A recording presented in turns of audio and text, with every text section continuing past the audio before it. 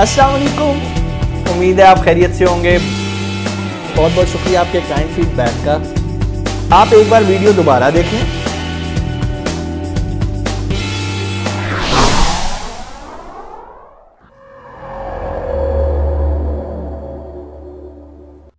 असलकुम and hello every welcome to my YouTube channel today we are going to continue our series Amazon private label in you in last lecture we learned about the taxation what is vat value added tax and who has to pay the tax and who are exemption or has a slab to maintain to register in the vat Today, I assume that you already have signed up your Amazon account, you already have hunted a profitable product, or we can say less competition and high demand product.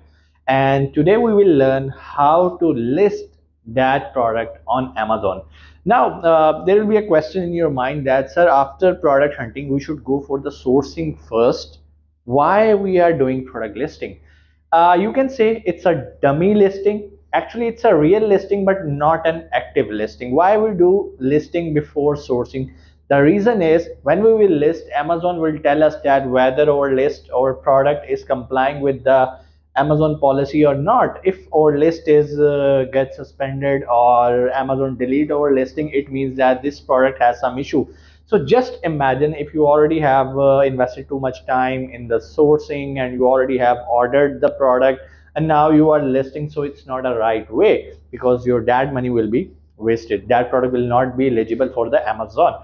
So today we will learn uh, how to list product on the amazon uae usually the method is almost same whether you are listing in uk usa or any of the market first you have to uh, learn the principles of product listing means what data you need to list a product on the amazon so let's go on the board the first thing to list product on Amazon, you need images. Images Amazon allow, which I recommend you should have minimum 8 or maximum 10 images. It can be 1, it can be 2. Why I say 8 to 10 so that your product will be more descriptive because when you discuss about the e-commerce, people are not touching your product physically or wearing or testing your product physically. So what uh, they need to understand about the features of the product uh, the images. Your images should be so professional that everyone will see oh it's a very good product. It fulfills my need. That's why i am buying it. So this this will be the reason uh, for a buyer to purchase your product. So next step is you should have keywords.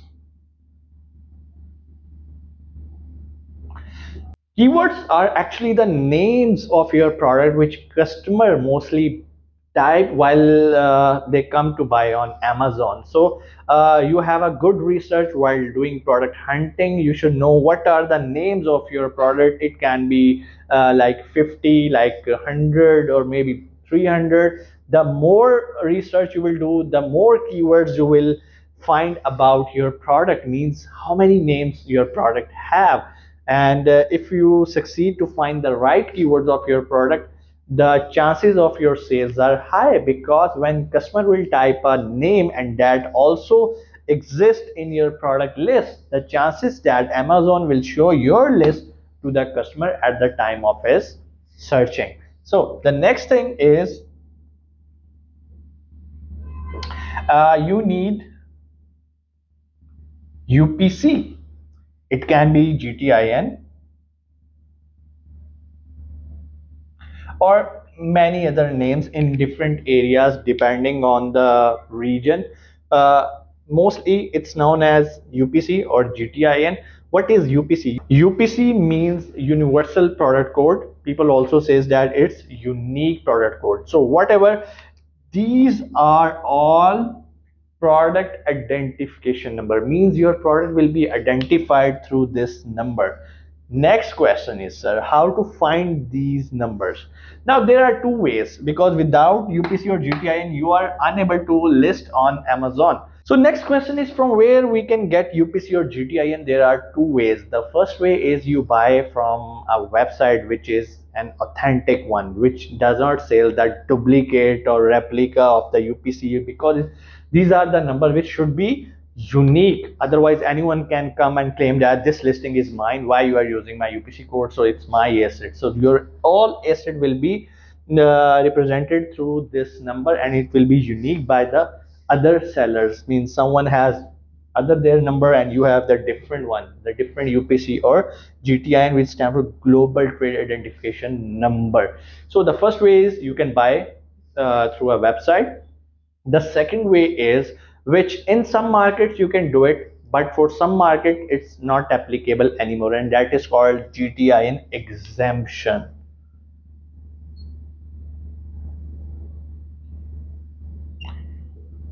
In this method we simply uh, open a case with Amazon uh, and tell them that at the time we does not have any UPC or GTIN but we have a brand and we want to list a product. So allow us the exemption. Amazon say okay fine.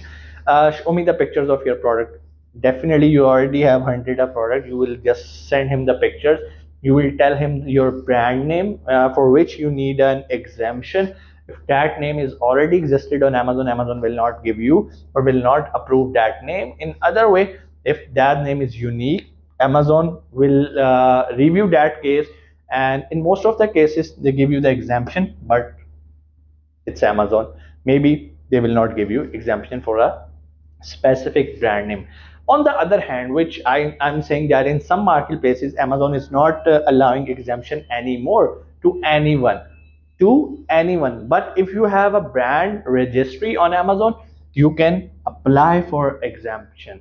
So it is one of the advantage of the brand registry that if you have a brand registry on Amazon, you can apply simply for the GTIN exemption. You don't need to buy the UPC and it's very helpful because in some cases you have to list multiple products in your uh, Amazon account. So you don't need to buy UPC every time listing a product. You just need an exemption if you have a brand registry. But if you don't have a brand registry, then simply go and buy the UPC. So uh, if you have all these three things, you are ready to go to list that product on the Amazon.